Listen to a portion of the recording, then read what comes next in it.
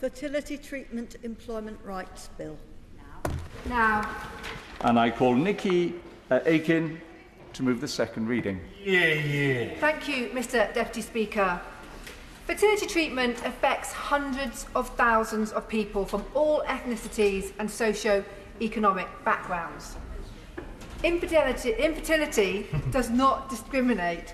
It is emotionally draining, costly, risky, and a very long process. You could go through multiple cycles before conceiving, and quite often you fail to conceive at all.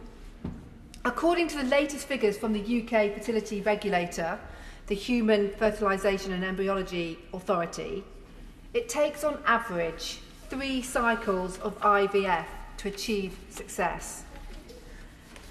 Cycles can be unpredictable, and women have to deal with the symptoms, the risks of complications, and the day to day practicalities such as self injecting with hormones. Undergoing fertility treatment is difficult at the best of times, but un- undergoing treatment while juggling a job is particularly tough.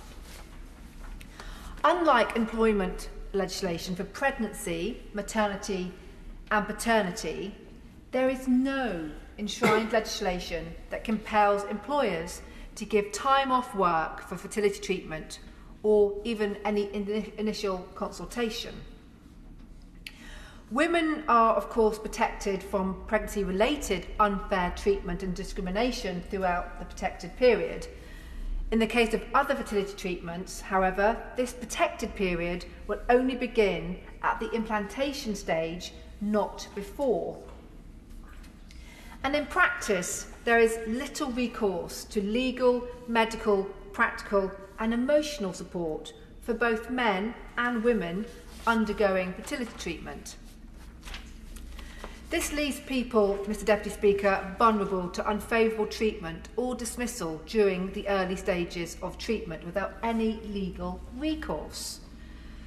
This reflects a significant gap in the law, one which has I hope my bill will address. We should give way. Of course. Uh, I, I thank my honourable friend for giving way, and I really congratulate her on the, this bill, which is in the best tradition of private members' bills Fridays, because it doesn't affect that many of any of our constituents, but those it does affect, it really affects quite uh, profoundly. And so I realise we don't have much time today, and I do hope she can make more progress on another occasion. But I just wanted to wish her well and also congratulate her on the work she has done with employers to voluntarily adopt some of the principles in her bill. I thank my uh, honourable friend, the member for uh, uh, Newcastle under Lyme, because he's absolutely right. It, you know, there, there is a small percentage of people who are affected by fertility treatment when you look at the whole uh, the whole population. But for those people, it's so important that we do support them through quite often a very difficult time. I will, I will. I thank my friend for uh, giving way uh, briefly. I, I just wanted to thank her for bringing in this bill. It's so important to so many. But ultimately, the point you just made, or that she just made, is about the, uh, the stresses as well. And when you're going through IVF, I know for many constituents I've spoken to, it's a very challenging period emotionally. And actually knowing they've got the surety of time off work to be able to do that is going to make a huge difference to many of them. Thank you for doing this. I thank my honourable friend, the member for Watford, for his intervention, and I'd also like to put on uh, put, put, put on this on, on the record in this place his support when he was the minister at Bays um, for, for the time he gave me to discuss my private member's bill. I certainly will. We're very close on time, but as you, my honourable friend has just said, it doesn't affect everybody across our constituencies, but it does affect some, my constituents that she knows has been in contact with her. But that doesn't matter. If there's one, a thousand or ten thousand, if something is wrong, and this place is the place that we should put it right. Mm -hmm. I thank my honourable friend for his intervention. He's right, and I have, I have I've been in contact with his constituent who contacts me via his office, and I'd like to thank his office also for the support that they've given me for this private members bill. Um, I think that The data from uh, the organisations that I've been working with, amongst them is Fertility Matters at Work, and their uh, recent uh, research showed that a third of people currently going through IVF treatment have considered leaving their job rather than have to face possible workplace discrimination. Their findings also indicated that many do not feel comfortable even discussing IVF treatment openly with their employer or their work colleagues and so struggle through the journey largely unsupported. I thank the Honourable Lady for giving way and she's making an excellent speech on a very important issue which means so much to so many of our constituents and I would really like to commend her for her, her work both with employers and in bringing the bill here today. I thank the uh, Shadow Minister for his support and I'd also like to put on record the support that I've received from across the House and particularly from my uh, Right Honourable uh, friend, I call her my, uh, my honourable friend, but the member for Pontypridd, who has been particularly supportive of me and my bill because I know of her personal journey she's had. Uh, uh, but but, but I, have, I have been really, really touched by the support I've had from every, uh, every political party in this place. Going back to the research that, um, that uh, Fertility Matters at Work carried out, some said that the, who, they, uh, who they surveyed, some said that they feared by undertaking uh, fertility treatment, it would be held against them and that they wouldn't be considered for the next promotion or they would face redundancy.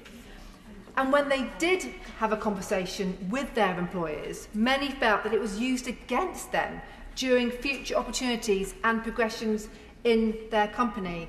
And I have to say, Mr Deputy Speaker, what I've found on my own journey into uh, looking at uh, the rights behind those who undertake fertility treatment, the number of particularly women who have contacted me from all across the country who have said the same thing every time that they felt once it was out in the open that they were undertaking fertility treatment or even thinking about it that that they that they were sidelined for a promotion that they didn't get that extra project that they'd been hoping for because they may not be around so much.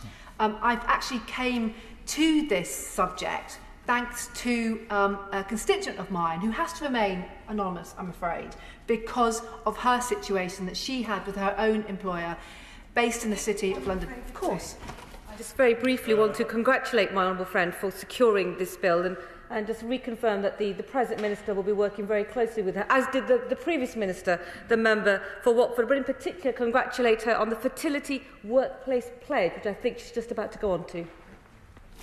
I thank the Minister uh, for her warm words and for the Minister who's responsible for employment law because he has been extremely supportive and met with me and discussed it.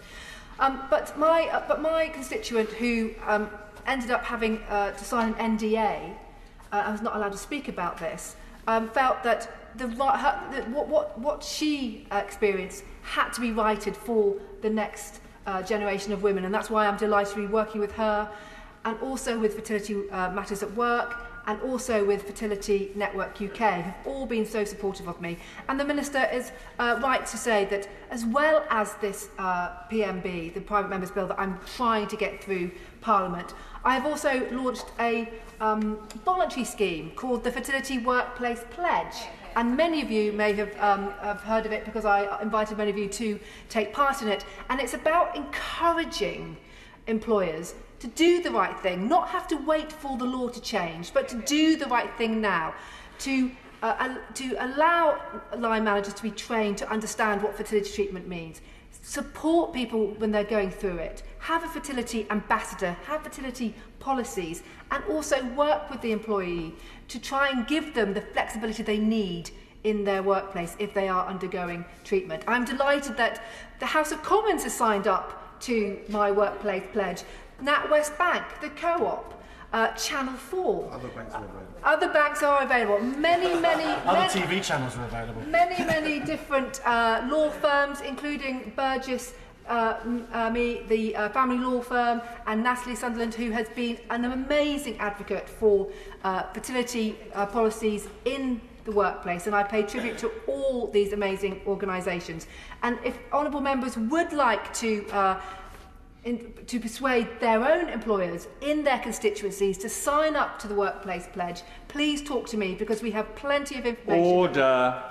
Order. Debate to be resumed what day? Uh, December the 9th. December the 9th.